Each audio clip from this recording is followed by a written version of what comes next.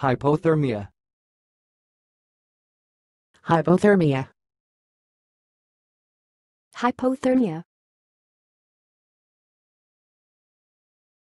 Thanks for watching. Please subscribe to our videos on YouTube.